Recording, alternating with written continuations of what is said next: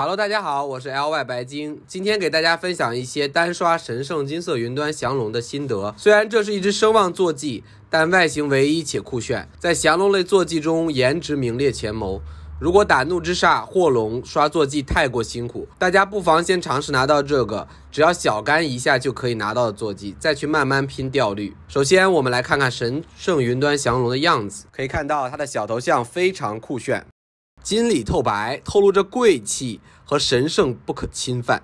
这个坐骑是皇帝少昊的声望坐骑。这个实战图我们在视频的结尾还会再次为大家展示，不用着急。这里强调的是单刷不进位面的情况下。下面我来从地点、方法、路线、效率三个方面来讲，最后给一个结论。首先，任务的地点在潘达利亚的永恒岛。作为部落的一员，我们从奥格瑞玛出发，进入探路者大厅。然后传送至潘达利亚的秘路村。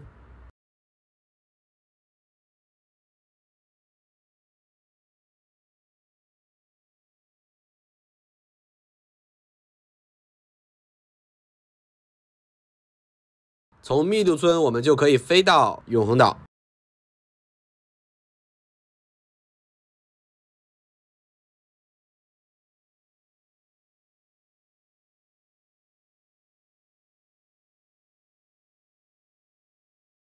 现在我们就已经到了永恒岛，我们可以通过做任务挣一些声望。当开启前置任务末代皇帝之后，每天刷两个声望。但是我建议不做任务直接刷怪，因为日常任务本来就有限，且一个任务声望平均在三百五左右，通过合理刷一组野怪就可以达到，还不用跑图。那么如果实在想做日常任务的朋友们呢，可以去找皇帝少昊帮派的老大皇帝少昊，他就在永恒岛天神庭院的右侧。如图所示。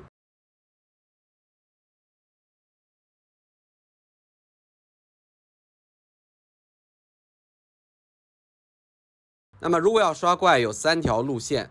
下面为大家介绍第一条路线：通过挑战时用挑战卷轴。挑战卷轴就在皇帝少号旁边的这个 BOSS 身上买一个卷轴，会花五百铸币，但是通过刷一组怪就可以得到一千六百九十七铸币。收益大于投资是值得的。这一波怪刷下来，大概能得四百二十声望。缺点主要是冷却时间有十五分钟，同时位置过于显眼简单，所以容易被抢。值得一提的是效率问题。那么刷这一组怪的效率大概会花一分钟五十秒，声望约每分钟约二百二十九声望，十五分钟之内总共能刷到四百二十声望。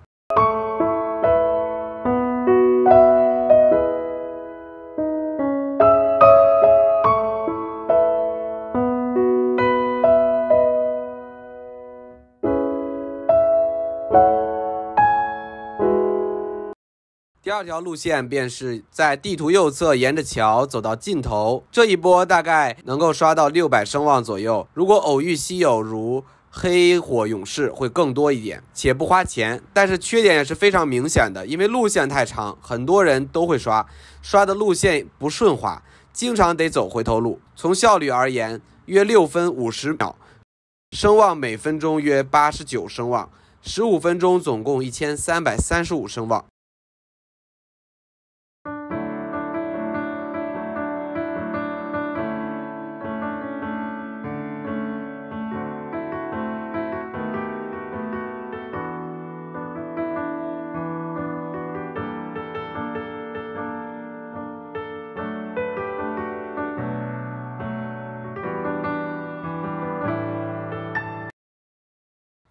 沿着桥走到尽头后，就来到了和宫殿隔桥相望的位置，这也是我们第三条路线的起点。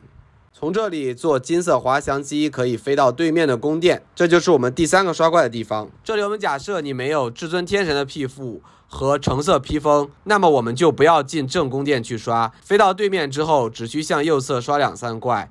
然后一路左走进入侧殿，接着反复刷这条路线即可，十分简单。这一波下来大概有四百声望，收入大概两千一百四十五永恒铸币。如果有稀有如落印者乌多尔会更多。买一次买滑翔伞的铸币大约在一千永恒铸币，买五个，因此也是收入大于支出是非常划算的。刷新时间约五分钟多一点。效率而言，总共时长约三分钟，声望每分钟约一百三十三声望，十五分钟算上刷新时间，总共一千二百声望。